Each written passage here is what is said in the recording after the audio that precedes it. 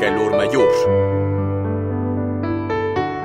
El calor mayor es el último de los periodos solares del verano. Es el periodo más caluroso del año, marcado por el calor tórrido y las tormentas. La flor de loto desafía el sol abrasador, se abre al amanecer y se recoge por la noche.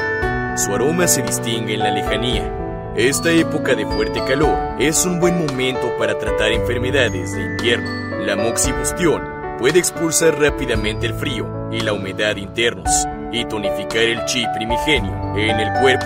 Es recomendable en constituciones de frío, en insuficiencia y en estados de salud subóptima.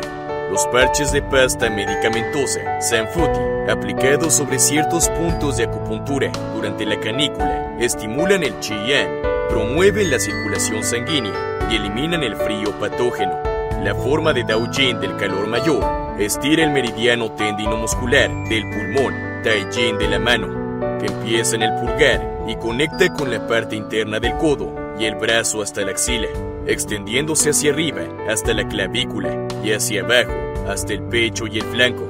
Al inspirar, hundimos ligeramente el pecho, cerramos los puños y rotamos los brazos hacia adentro, empujando hacia abajo, a la vez que giramos la cabeza, acercando la barbilla y el hombro. Así generamos el estiramiento y torsión del meridiano tendinomuscular del pulmón, Taijin de la mano. Al expirar, abrimos el pecho y recentramos el cuerpo. Podemos repetir el ejercicio varias veces a ambos lados, según nuestras circunstancias.